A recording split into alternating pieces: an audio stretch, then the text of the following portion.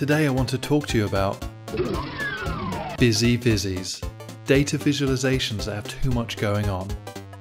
Here is an example of a busy vizzy.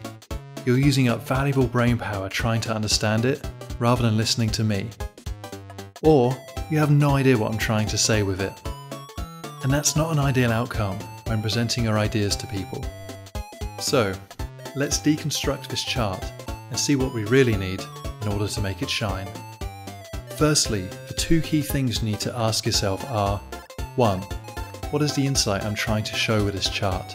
And 2. Does it do that effectively? Here, I'm trying to show the number of calories in caviar. So we've answered the first question, and now we'll fix the second.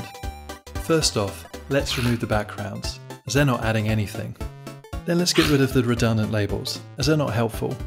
Clear out the borders, remove the special effects, reduce the colours to focus on the caviar, remove the axis and the lines to stop people going back and forth to work out the values. And whilst we're at it, why don't we put the values directly onto the bars? And there we go.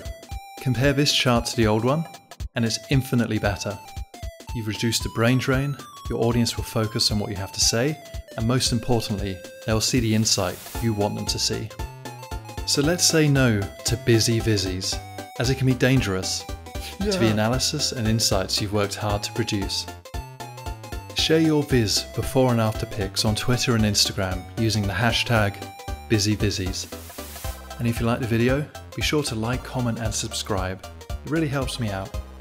And if you want to see more, check out these videos where I highlight how report automation can stop you being a data monkey and become an analyst instead. Or how I try and make sense of the QI TV show's scoring system.